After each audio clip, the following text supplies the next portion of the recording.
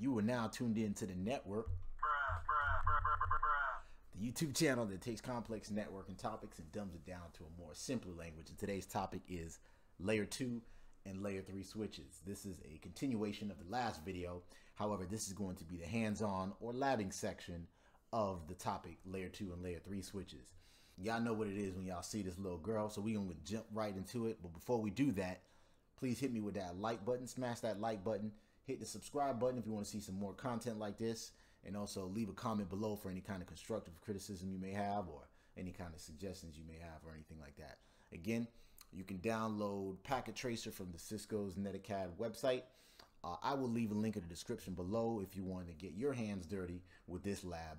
Let's go ahead and jump right into it. All right, so this is the lab Packet Tracer configure layer three switches. Remember what we said about layer three switches. I'm not going to go too deep into the theory. It's basically the same thing as layer two, except it does layer three functions, which is what? IP routing. If you want to know more about the theory, watch the last video. I got a whole playlist and we're going to continue doing this stuff. If I, you know, if I if I see more subscribers and I see some more people watching, then they really are asking for this content. But anyways, says here, part one, we want to document the current network configurations. Basically, we're to fill out this chart right here but I got an Excel spreadsheet because this is not fillable right here in Packet Tracer. And we're going to configure, deploy, and test the new multi-layer switch. So let's examine this topology real quick. We got the edge router right here. So let's say we got the, remember the, the edge is like the hockey puck, right? The router. So we got the internet that's going to be on this side right here. Now we take it to the local area network. We got a local area network switch right here, the layer two switch. We got a router right here. And then we got another layer two switch right here basically we're going to take all these devices right here in the local area network and do and replace it with this multi-layer switch right here or layer three switch right here. How can it do that right? Layer three switches can handle layer two and layer three functions. That's how come we're going to take all of that uh, take all these devices and basically replace it with a multi-layer switch. Now just watch the last video if you want more theory on you know the pros and cons of using layer two switches versus layer three switches or comparing them with a router and things like that. So it says here network administrator is replacing the current router and a switch with a new layer three switch. Like we mentioned, it is your job to configure and place it in the service. You'll be working after hours to minimize disruption to the business. Uh, my change has been during the day recently. I guess we just been uh, we just got tired of wake, waking up early in the morning to do these changes. Document current network configurations. Normally, a production router will have many more configurations than just one IP addressing. Uh, just interface IP addressing. However, to expedite this activity, only interface IP addressing is configured on router 1. Where's router 1? That's this guy right here. We're going to click on router 1, then the CLI tab. Click on router 1. We're going to go to the CLI tab, and he says here, use the available commands to gather interface addressing information, then document the information in the addressing table. Well, remember I said this is not fillable. So I just went ahead and opened up this Excel spreadsheet and we're going to fill out right here. So they want to know the interfaces on router one, the IP addressing and the subnet mask. How do we do that? This is one feature, one command you will really want to ingrain in your mind. Show IP interface brief. Shout out to my man Tony E. That's his uh, tag name. But anyway, we got to go to and before the, we can't do that in privilege or user exec mode. So if we do show IP interface brief, you're gonna. Oh, I guess you can do that. Look, look, look, look, look at this. Somebody come look at this. Look at this. Somebody come and look at this. Let's see. We got gigabit 00 and gigabit 01 that are configured. The rest of these have not been configured, right? Basically, we need to document these guys right here. I'm gonna copy that, place that right in here. Boom. We also got a gigabit 01 right here. Copy, Notice we don't see the subnet mask here, right? Another command you want to know, show interface and then just the interface name. So in this case, GI 0 slash 0. Remember, you could just tab. You ain't got to type the whole thing. Hit enter. And that's how we can get our subnet mask. It's slash 24. When we're not going to write it in CIDR notation, we're just going to do 255.255.255.0. We will do a video on subnetting soon enough. That way y'all know how to convert CIDR to subnet mask and stuff like that. The next guy is GI01, which I believe we could do 01 and then switch port, and that'll give us the subnet mask as well. No, it's not a switch port. So show interface GI 0 slash 1. And we see that's also a slash 24. And the IP address is 192.168.0.2. So 192.168.0.2, 255.255.255.0. And then on the multi-layer switch, we are going to take all of that and put it down there, but don't worry about that for now. We worked with router one and we got the information that we needed. Now we are going to configure and deploy and test the new multi-layer switch. We're going to configure multi-layer switch to use the addressing scheme from router one. So all this information that we copied from this spreadsheet right here, we're going to place that. We're going to place all, all those configurations from this guy and put it on the multi-layer switch or the layer three switch. Click multi-layer switch one and then the CLI tab. That's this guy right here. You can see this is, I believe, a 3560 switch. These are these are EOL on our network in my job.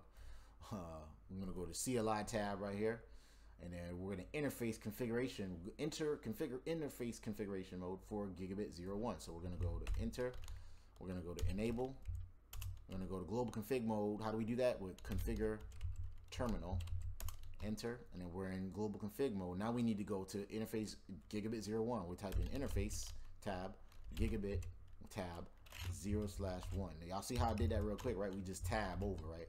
Now we're in interface config mode. How do we know that? Because it says config IF. You would think it would say IF config, right?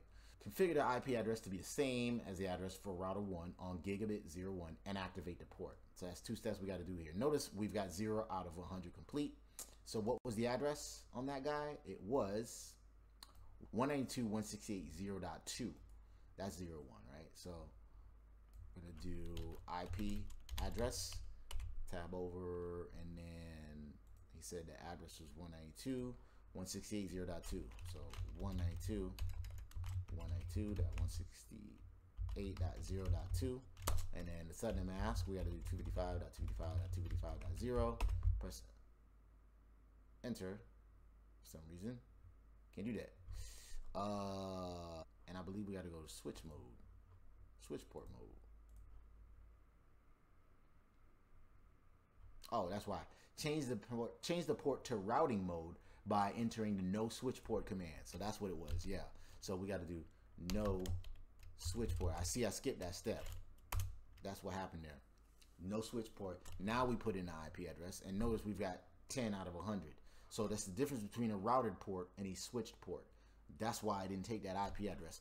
Uh, switch port is basically layer two, so you're not gonna put you can't put an IP address in. IP address is what layer three. We discussed that in the last video. If you don't understand that, go to that last video to understand the theory behind it. Now we can put the IP address, hopefully, 192.168.0.2, 255, 255.0, uh, And now notice we've got 40 out of 100. Now it took the IP address, right? Then he also said to activate the port. How do we do that? No shutdown. That turns on the port basically. Enter interface configuration mode for interface VLAN 1. So now we got to get out of this. We don't have to do it this way, but I like to do that just for the show y'all. We go to interface VLAN 1. Now this is going to be the management IP address. This is not the same thing as like an actual port. Remember, this is a virtual port. So he wants us to configure the IP address to be the same for router as the address on router 1's GI00 and activate that port. So interface VLAN 1 is going to be the same thing as router 1's GI00 port. What was that? We documented it here, right? The GI00 port was 172.16.31.1. So now we do IP address 172.16.31.1 255.255.255.0. Now, if you're probably asking, how come we ain't got to do no switch port there? Well, that's because this is a virtual port. It's not layer two. It's virtual, so we just we can just make it layer three automatically. I don't even believe you can do. Uh, yeah, I don't think you can do switch port command on a on a on the virtual interface anyway. So like let's say switch, yeah, you can't even do that. See, so now we are at 80% complete. We're almost done here. This is a quick lab, so save the configuration they want us to do. So we just get out of this. Remember what I said, how to save your configs, right? Is copy running configuration to the startup configuration. So basically, we're copying what we've got here, the running configuration. This is what currently running, and we want to put it to the startup configuration. So that's why we say copy run start for short. So copy, right? And I'll type it all out though. Running we need, we need to get out of global config mode. Copy running config, startup config. We press enter. It's going to ask us, do you want to change, save it as startup config? We press enter. Building config. Okay, so basically we saved everything right now. Uh, we're still at 80%. Why? Because we need to deploy the multi-layer switch and verify that the connectivity is restored. Following steps will be normally done after hours or when traffic on the production network is at its lowest volume, which is typically at night, to minimize downtime. The new equipment should be fully configured and ready to, ready to deploy. Click an empty area of the screen to unselect all devices. So we're going to click an empty area right in here. And then we're going to use the delete tool. Where's the delete tool? That's this guy right here. And we're going to delete all these guys that we don't need, right? So we're going to delete the switch. We don't need the router anymore. We don't need layer two switch. We're gonna replace it with this multi-layer switch right here. So now we're not gonna push, we're not gonna click that because it's gonna delete it.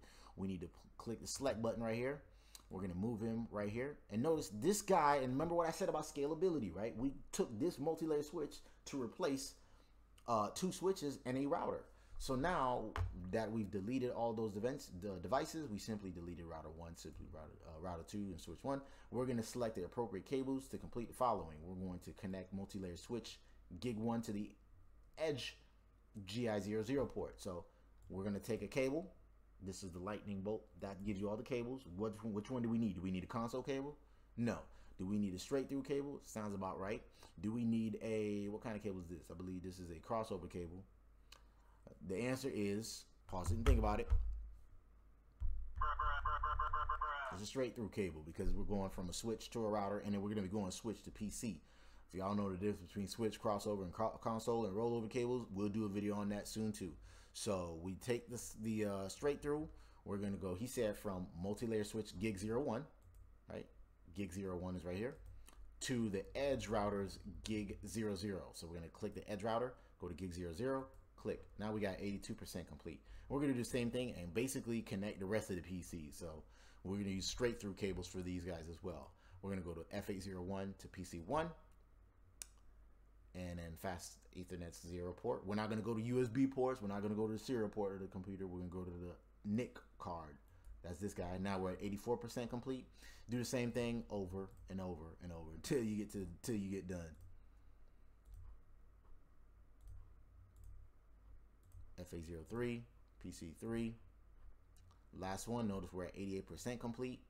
We go to FA04, PC4. Now we're at 90% complete. We are going to verify all the PCs can ping. Uh, first, he says connect all the PCs to the FA0 uh, Ethernet ports on multi-layer switch one, which we did. Verify they can uh, ping the edge, and then wait until the orange uh, light link lights turn green. Notice we're at 90%. I think it's because we didn't turn on our virtual uh, interface VLAN. Let's see. Now, we did not. So let's do this. Watch this. I'll show y'all.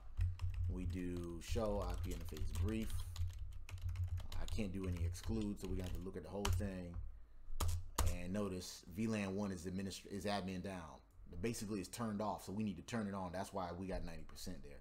So we're going to go to interface config mode global config configure terminal interface VLAN 1, right? And we're to do a no shut. That basically turns on that interface. So no shutdown, right?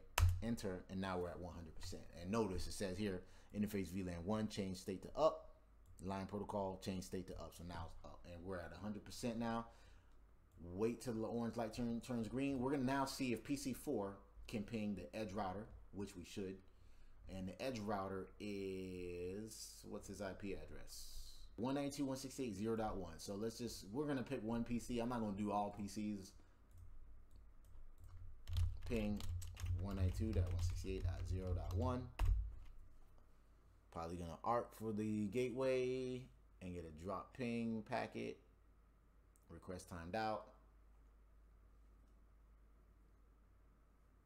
Come on, buddy.